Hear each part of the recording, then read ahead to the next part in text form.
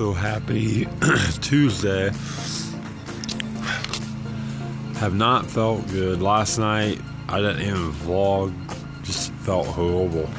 Well, I did, didn't I? But yeah, I just today I just don't feel good. I don't know if it's allergies or what. I got a headache. Uh, usually when I have a headache and felt like I did yesterday. It takes me a day to recover, and today I still feel I don't have a headache or nothing. I just feel really bad. Don't feel like eating nothing, nothing. So I'm not feeling well. May go for a walk later to maybe help out, pick me back up a little bit. I don't know, but yeah, I'm just not feeling it. Uh, it's pretty nice out, and hopefully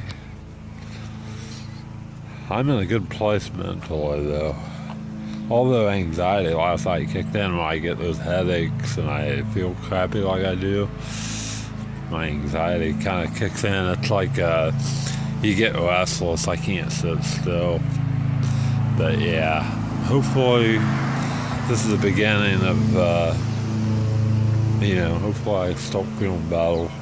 I'm feeling a little better. I just feel kind of bad.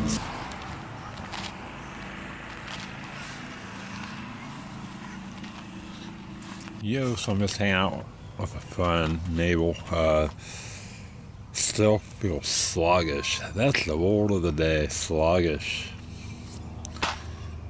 Uh, eating some cantaloupe though, that's some good stuff. That's making me feel a little better.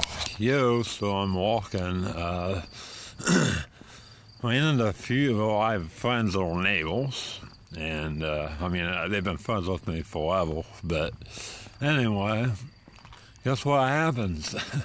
I went into uh, to them and uh, talked to them for a couple hours. So I'm just trying to finish my walk now at night. That's okay. I'm even doing a little jog, jogging, people. I have felt bad, and I'm like, screw it. I'm gonna stop jogging. I'm, I'm gonna jog anyway.